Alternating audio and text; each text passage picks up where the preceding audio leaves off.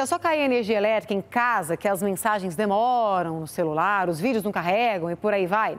Mas o que a energia tem a ver com o sinal da internet? Fernanda Arcanjo foi atrás das respostas para gente. Olha aqui. O Matheus já percebeu que é só chover que a internet do celular fica oscilando. Uma diferença, infelizmente, para pior.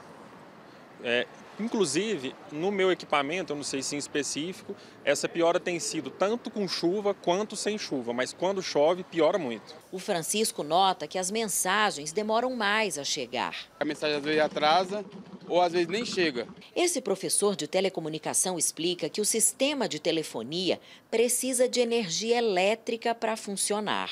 Quando chove, né, geralmente existe ventos que balançam as árvores e derruba a energia elétrica aí falta energia elétrica nas ERB, nas estações rádio base. Essa é uma ERB, estação rádio base, que a gente também conhece como torre de telefonia. Se a energia aqui na região acaba, ela até tem os geradores ali que mantêm o funcionamento, mas não por muito tempo. A autonomia é de mais ou menos duas horas. Se a energia não voltar nesse período, os serviços começam a ser reduzidos. O que pode acontecer é que o sistema de controle né, pode é, suspender alguns tipos de serviço para que a bateria ou o grupo gerador não pare de fornecer muito rápido, né, fornecendo serviços é, básicos como 3G, 2G e nesse caso eliminando 4G tá? que seria o serviço mais de ponta. Né? Esse engenheiro eletricista explica que o sinal 5G, a última tecnologia, exige ainda mais do sistema. Existe uma necessidade de mais torres de transmissão para ativar o sinal 5G.